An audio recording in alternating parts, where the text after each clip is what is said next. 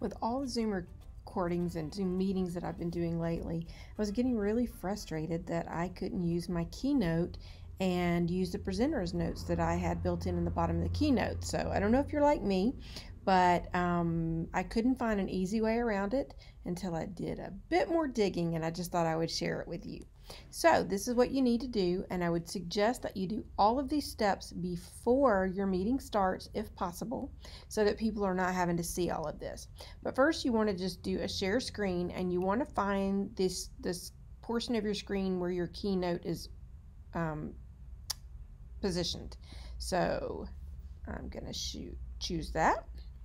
Okay, so now that uh, it is showing the keynote, I'm going to go up to the play button and I think that is just out of my recording area so you may not see the play. But if I click on play, then it comes up where I can choose rehearse slideshow. So that is what I'm choosing.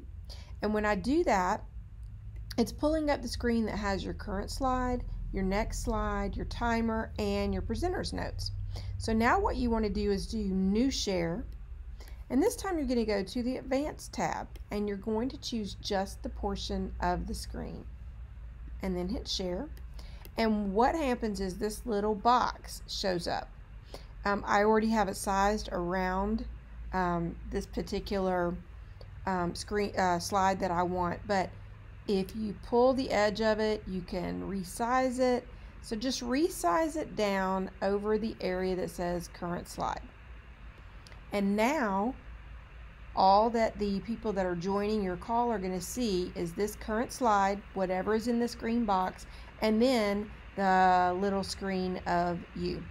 So um, I hope that helps you. Um, I know I was very excited to finally figure it out. So happy Zooming!